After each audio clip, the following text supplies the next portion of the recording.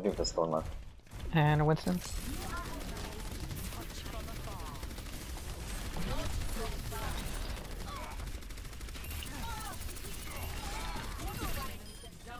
Wow, okay. Oh, There's Soldier on the right.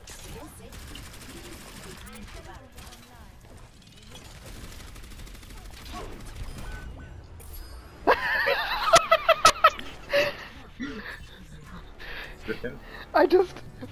He shot a Helix rocket and I just halted him, and he flew into his Helix rocket and killed himself.